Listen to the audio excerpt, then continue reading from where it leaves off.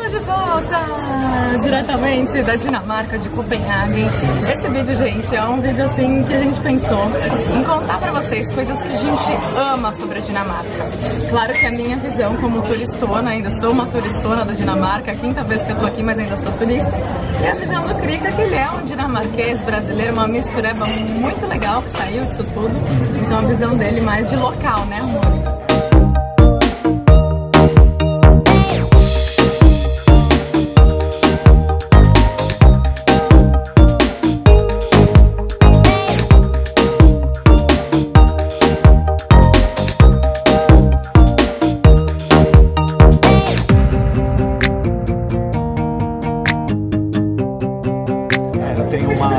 História de muitos anos na Dinamarca, né? Eu tô aqui desde, eu vivi aqui desde os meus 4 anos até os meus 23, né? É verdade. É, com algumas idas ao Brasil e idas e voltas, mas é, isso aqui para mim é casa também, né? Como o Brasil é casa para mim, a Dinamarca também é. Gente, parece muito bobo que eu vou falar pra vocês, mas geralmente mulher, né, que tem essa, o lado da vaidade, fala, nossa, eu vou pra viagem pra tal lugar, minha pele fica ruim, meu cabelo, gente, aqui tudo fica lindo. A água daqui é tão pura, é tão boa, que você pode beber água da torneira, eles inclusive te incentivam que você faça isso, então você vai em lugares que você pode abrir uma torneirinha, pegar a tua água ali tranquilamente, e o cabelo e a pele ficam ótimos. Eu passo o dia inteiro sem ficar oleosa, que nem eu fico lá em Santos. Acho que é uma, uma, uma das coisas, além da água, é a questão da comida. Ser, é, por exemplo, é, uma das coisas que eu mais amo na Dinamarca é que você pode ir para o lugar mais básico até o lugar mais sofisticado e você vai ser servido com muita qualidade, desde o, da, da própria comida até o atendimento, né? Então, é assim, é, aqui na Dinamarca você tem uma qualidade, um cuidado com a, a, qualidade dos produtos, das comidas e tudo que você ingere, que isso acaba tendo uma. É, resultando numa aparência mais saudável. É.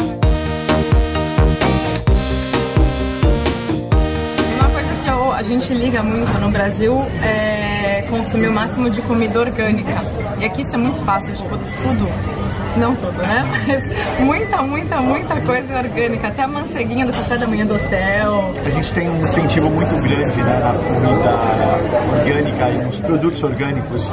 Então, ah, quando o governo incentiva o, o, o, como é que fala o farmer? O fazendeiro? O fazendeiro. O produtor, o né? produtor de, de cultivar comida orgânica, isso, isso reflete né, na, na questão de, de consumo em geral. Então aqui a gente tem realmente uma facilidade em encontrar produtos orgânicos e, e é aquilo que a gente falou, é, é, coisas orgânicas muitas vezes é, nem, nem só pela qualidade do gosto, né? Mas healthy and better for our, our, environment. So just by eating good stuff, you can do something very good for yourself and others, and that's super meaningful, and that's why we do this.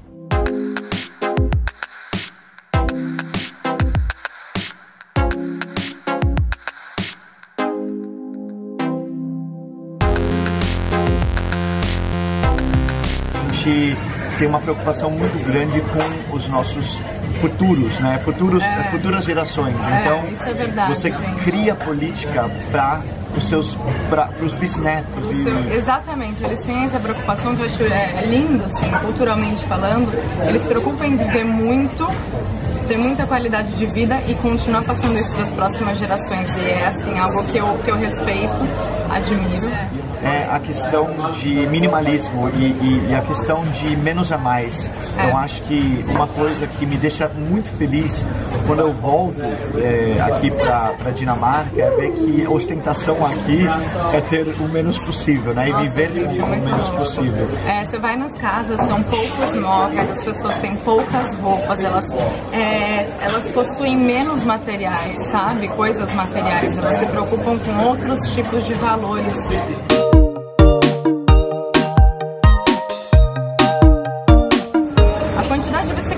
tem É aqui. verdade. Então você se exercita, você anda, você não polui tanto. Então, é, mesmo que você não saiba andar de bicicleta aqui, tem as Christiania Bikes que vocês estão vendo aí no vídeo. Olha lá o que fica me levando, que bonitinho. Pra quem não sabe andar de bicicleta, ela tem lá as duas rodinhas na frente, dá pra você alugar uma dessas e dar um rolê pela cidade pra conhecer. É, e a cidade, a Copenhague, por exemplo, a Dinamarca inteira, mas Copenhague é feita para bicicleta. Todo lugar que você anda tem aqueles. Ciclovia. É, e como chama esses aí para parar aqui? Ah, é, tem estacionamento. Estacionamento de em bicicleta todos os lugares. everywhere. A, a questão de poder fazer tudo a pé, a questão de poder andar de bicicleta, você tem todo tipo de povo andando de bicicleta e valorizando não só saúde, né, mas saúde para a cidade. É. É, então eu acho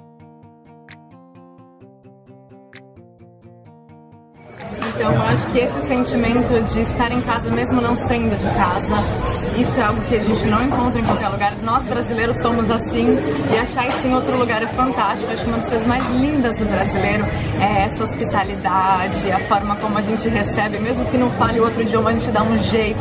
E aqui eu encontro isso, sempre eles dão um jeito de se comunicar, de te ajudar. então você Esse estilo de vida legal. mesmo de, de aproveitar o que se tem de melhor, sem precisar ter muitas coisas.